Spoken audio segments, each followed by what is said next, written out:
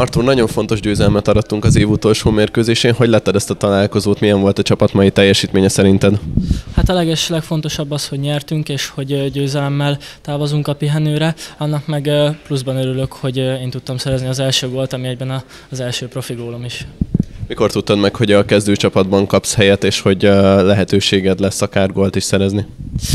Már a hét elején közölte velem a vezetőedző, hogy van olyan forgatókönyv, hogy, hogy pályára lépek, és úgy készültem egész héten, hogyha, hogyha helyzetbe kerülök, akkor lőni fogok. Mennyire volt különleges számodra itt Szegeden játszani, hiszen úgy tudom, hogy itt nevelkedtél, és az utánpótlás csapatokban is játszottál. Szegeden mindig otthon érzem magam, ezt a város szeretem legjobban, de ettől függetlenül nem bánom a gólt, mert ettől függetlenül MTK-s a szívem.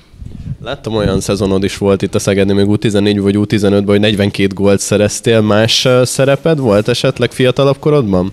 Igen, akkor, akkor még csatárt játszottam, akkor még én voltam a leggyorsabb, szóval azokban a szezonokban lefutottam mindenkit, és sok gólt szereztem. Összességében szerinted mennyire lehetünk elégedettek ezzel a fél évvel? Ugye nem állunk feljutó helyen, de nagyon közel állunk hozzá, és nyilván ez a célunk, hogy jövőre ott legyünk az első kettőben legalább. Egészen jól kezdtük a szezont, aztán volt egy, volt egy nagyobb visszaesésünk, aztán jött az edzőváltás, amiből úgy néz ki, hogy jól jöttünk ki, szóval újult erővel fogunk neki látni a következő szezonnak. Hogy érzed neked még miben kell fejlődnöd 2023-ban, illetve csapatként miben kell előrelépnünk, hogy meglegyen a feljutás?